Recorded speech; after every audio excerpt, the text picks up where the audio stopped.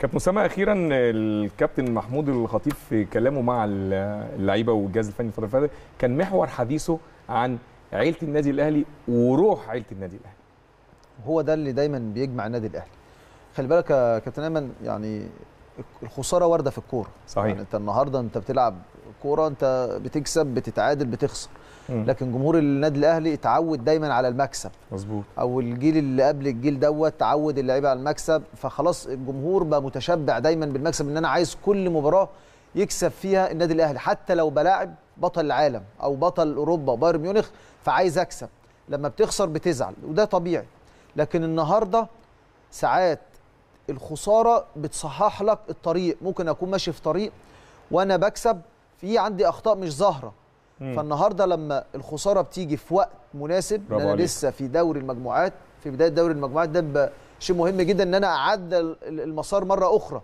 برافو عليك. قبل فوات الأوان. صح. فالنهاردة أنت لما بتكسب آه، المريخ بتيجي مباراة خارج ملعبك والنهاردة لما بتلعب خارج ملعبك النهارده أنت بتدي رسالة للفرق الثانية في أسلوب لعبي في قوتي خارج الملعب. إن الفريق اللي بياخد بطولة بيبدأ من خارج ملعبه مش من ملعبه وده اللي إحنا عملناه السنة اللي فاتت أمام الهلال السوداني مظبوط. أمام صن داونز بره أمام الوداد مم. علشان كده قلنا البطولة بتاعت النادي الأهلي صح الحمد لله النادي الأهلي عنده سكواد فرقة محترمة جدا عنده الناس اللي قاعدة بره على الدكة وده نجاح الفريق زي ال- ال- المستوى الناس اللي موجودة في على في الملعب مم. وده شفناه وأنت بتاخد بطولة أفريقيا شفناه وأنت بتحقق كاس ال- العالم ال- ال- البرونزية الإنجاز اللي, ما اتحققش من 2006 أنت بتحققه بالجيل ده إنه يقدر يحط اسمه في في تاريخ النادي الأهلي فالنهاردة خلي بالك في فريق ممكن تلاقيه قايم على لاعب أو اتنين لما بيغيبوا عن ال- التيم الدنيا بتتأثر. تخيل أنت المباراة اللي فاتت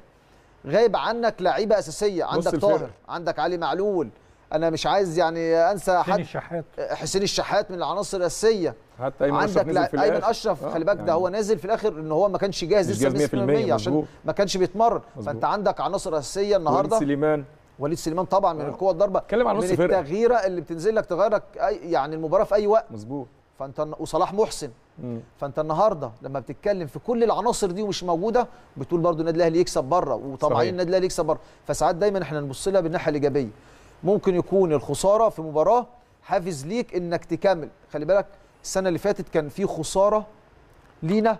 كانت هدف إن إحنا ناخد بطولة أفريقيا وناخد برونزيه كأس العالم. كانت خسارة امام الزمالك 3-1 كان دوري المجموعات. للنجم الساحلي مش كده؟ في بطولة لا. الدوري. آه في الدوري؟ بطولة آه الدوري. بتكلم على الدوري. أنت خلاص انت حسمت الدوري. أيوه. لكن النهارده خسارتك المباراه بدأت تتعدل مسارك في اتجاهات أخرى. أيوة. وحافز أكبر للعيبة علشان أيوة. البطولة الجاية.